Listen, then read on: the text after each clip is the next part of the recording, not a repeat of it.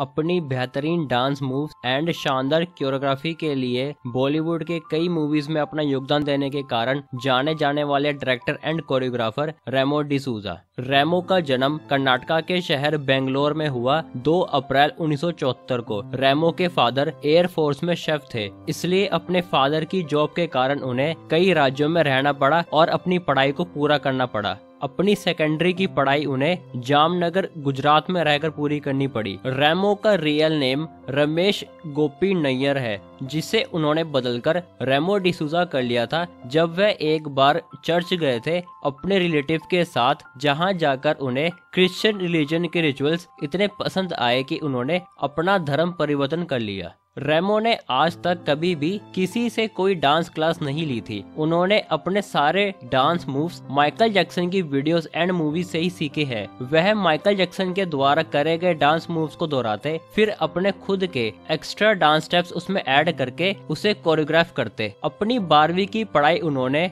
जामनगर, गुजरात में रहकर ही पूरी करी। रेमो का पढ़ाई में ज़्यादा इंटरेस्ट नहीं था, इसलिए अपनी स्कूलिंग की पढ़ाई पूरी करने के बाद वह मुंबई चले गए, लेकिन उनके फादर चाहते थे कि वह एयर फोर्स ज्वाइन करे। उनके घर में, बचपन में पैसों की काफ़ी तंगी रहा करती थी। इसलिए अपनी फैमिली को फाइनेंशियली सपोर्ट करने के लिए उन्होंने डांस क्लास ओपन करे सुपर ब्रेड जिसमें वह कई तरह के डांस मूव सिखाते थे। उनकी लाइफ का पहला टर्निंग पॉइंट तब आया जब उनकी डांस क्लास की रही टीम ने वहाँ के एक लोकल कंपटीशन में पहला स्थान हासिल करा। उन्होंने अपने बॉलीवुड करियर की शुरुआत साल उन्नीस में आई मूवी रंगीला से करी, जिसके बाद वह अहमद खान के साथ जुड़े एज असिस्टेंट कोरियोग्राफर जिसके बाद वह अपने नेक्स्ट प्रोजेक्ट के तौर पर सोनू निगम के साथ नज़र आए उनकी एल्बम दीवाना के लिए, जो कि काफ़ी हिट साबित हुई, जिसके बाद उन्होंने कई डायरेक्टर्स और कोरियोग्राफर के साथ काम किया उनकी वीडियोस एंड मूवीज़ में। रेमो का बॉलीवुड में टर्निंग पॉइंट तब आया जब उनके द्वारा कोरियोग्राफ किया गया सॉन्ग इश्क समुंदर, जो कि था मूवी कांटे में से काफ़ी हिट साबित हुआ। बॉलीवुड में एज अ डायरेक्टर के तौर पर उन्होंने अपना करियर साल 2011 में शुरू करा मूवी फालतू से।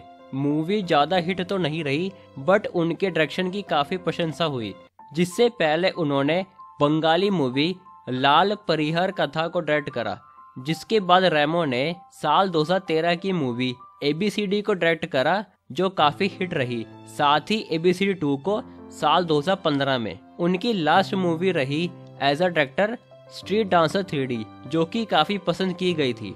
रेमो बॉलीवुड के साथ साथ टीवी के कई रियलिटी शो में भी नज़र आ चुके हैं एज अ जज जिसमें उनका डेब्यू जी टीवी के dance reality show dance India dance में हुआ साल 2009 में, जिसके बाद वह कई बार डीआईडी में नज़र आए। साथ ही वह सोनी के डांस रियलिटी शो में भी नज़र आए साल 2010 में झलक दिखलाजा के season four, five, six and seven में। एंड स्टार प्लस के show dance plus season one, two, three, four and five में।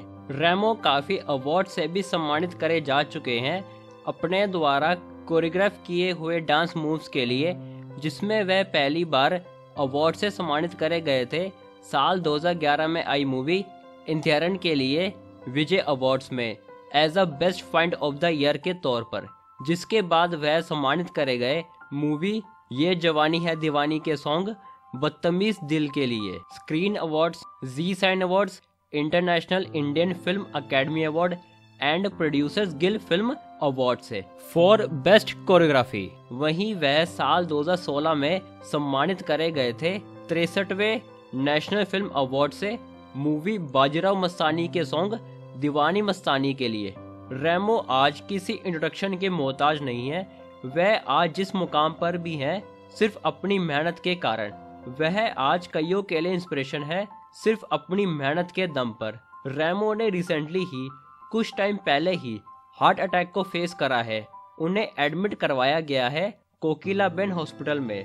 हम उम्मीद करते हैं कि वह जल्दी ही रिकवर हो और अपने काम को ऐसे ही आगे बढ़ाकर आज के यूथ को ऐसे ही इंस्पायर करते रहे, ताकि ऐसे टैलेंटेड लोग हमारे समाज को ऐसे ही आगे बढ़ाते रहें।